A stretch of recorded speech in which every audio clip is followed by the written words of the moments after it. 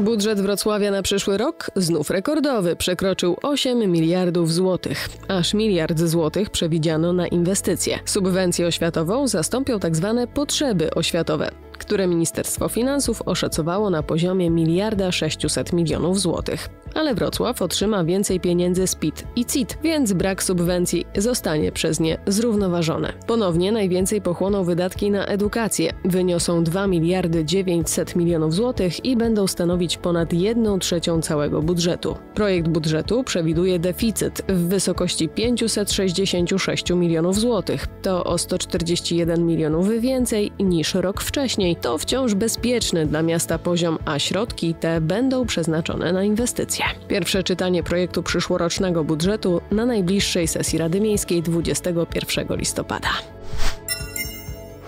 Spadł pierwszy śnieg tej jesieni, a wraz z nim na drogi wyjechał pierwszy patrol. Tym samym w mieście oficjalnie rozpoczęła się akcja Zima, która obejmuje okres od początku listopada do końca marca.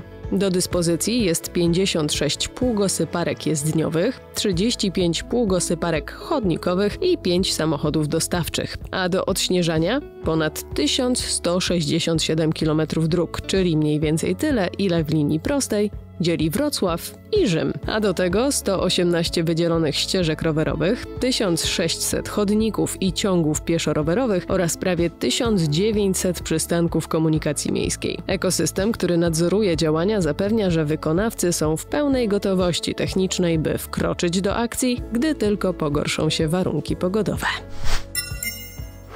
rusza nowa edycja Funduszu Osiedlowego. Do podziału na 48 osiedli będzie 50 milionów złotych. To o 10 milionów więcej niż w poprzednich latach. Pieniądze są dzielone za pomocą specjalnego wzoru w zależności od liczby mieszkańców i powierzchni osiedla. Od stycznia mieszkańcy do swoich rad osiedli będą mogli zgłaszać inwestycje, które uważają za potrzebną w swojej okolicy. Propozycje poddawane zostaną konsultacjom które mogą przybrać formę spotkania, debaty czy ankiety. Pieniądze można przeznaczyć na przykład na remonty chodników, rewitalizację skwerów, nowe place zabaw, ścieżki rowerowe czy oświetlenie. Najbardziej pożądane przez mieszkańców przedsięwzięcia Rada Osiedla zgłosi do realizacji. Ma na to czas do 30 czerwca.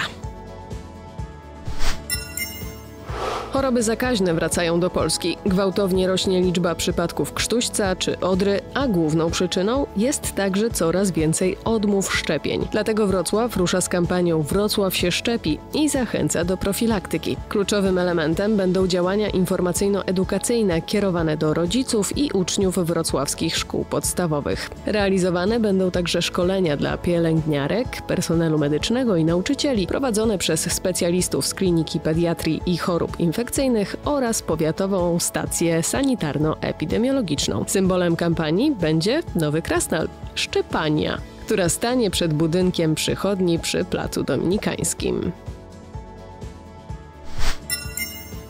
To już ósma edycja konkursu na 30 kreatywnych Wrocławia, organizowanego przez portal wrocław.pl. Do zaszczytnej trzydziestki mogą dołączyć wybitni naukowcy, społecznicy, artyści, biznesmeni, ludzie utalentowani i z pasją, ale także inspirujące inicjatywy, które zmieniają miasto. Znasz taką osobę, grupę albo projekt? A może sam uważasz, że zasługujesz na miano kreatywnego Wrocławia? Jeśli tak, to koniecznie wypełnij formularz zgłoszeniowy na portalu.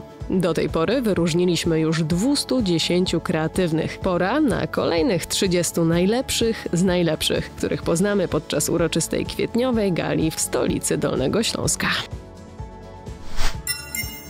I tym zaproszeniem kończymy podsumowanie tygodnia. Po kolejne zapraszam piątek. Do zobaczenia.